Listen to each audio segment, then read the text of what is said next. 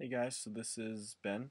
I'm just, uh, this is my first time doing this on YouTube. I'm just broadcasting myself because uh, I I want to go into broadcasting one day, and um, I already have a blog on Blogspot called the Hockey Newscast.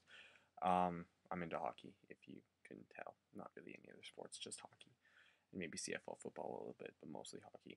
Anyway, um, so yeah, uh, I'm gonna be talking about the death of um, Rick Rypien, uh, and that as of now, that happened about uh, because it's about 2:30 on uh, Thursday, August 18th, 2:30 a.m.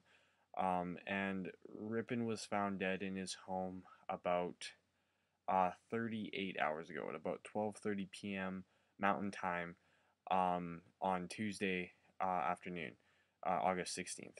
And so, um, obviously, he was probably dead a few hours before that because um, he was actually because he signed he was with the Vancouver Canucks and then he signed with the Winnipeg Jets. And he was supposed to board a plane on Sunday night to um, go to Winnipeg and then he was going to get his leg checked out there on Monday. But he never actually got on that flight. And uh, so Craig Heisinger who was expecting him uh, he is the assistant general manager of the Winnipeg Jets and the former general manager of the Manitoba Moose, uh, which which is where um, Rypien played his minor league hockey. And so he said that he tried to track him down that day a little bit, and he couldn't um, find out where he was or anything.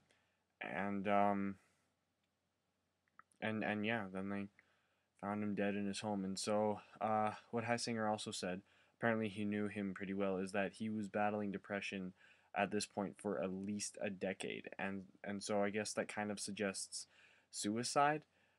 But I think that would have been released by now if it was. I think the RCMP would have said something, and they're not treating this case, uh, they're not treating it suspiciously. Um, and so, um, yeah, and it's kind of rattling because only 95 days before Rypien was found, Boogaard, Derek Boogaard, the um, former, I believe at that point he was a Ranger, but he was best known in Minnesota when he was kind of the goon there doing all the fighting and stuff. And so um, the original suspicion there was that uh, he he had just taken a lot of headshots and it was just kind of all this damage to the brain and he just collapsed. But it turned out that it was actually just a combination of alcohol and um, uh, some painkillers. So, yeah, it's kind of rattling because fewer than 100 days apart, you find two guys just dead in their homes. And it kind of sucks.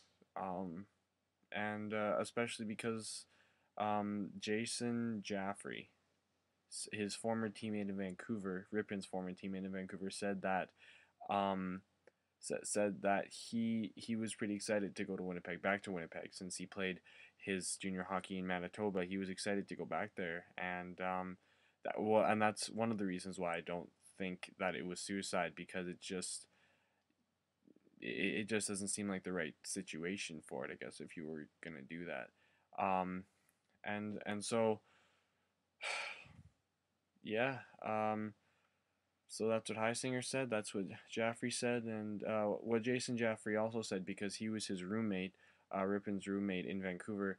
Um, he said that if if it was something about depression, then he definitely really kept that to himself because he hardly talked about it, and um, the guys around him they didn't uh, they didn't try to get it out of him. They didn't try to pry it out of him because um, that apparently made him uncomfortable.